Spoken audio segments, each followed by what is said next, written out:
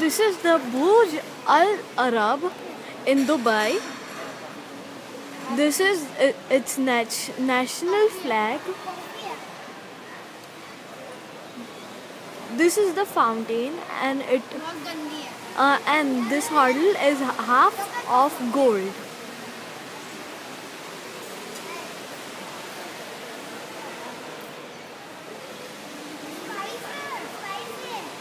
You can see it.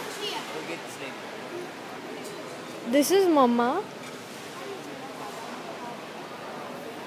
This is Daddy. This is Avi. And you can see behind a beautiful view of Burj Al Arab, which is world's um, expensivest hotel per day 15 lakhs and it is very beautiful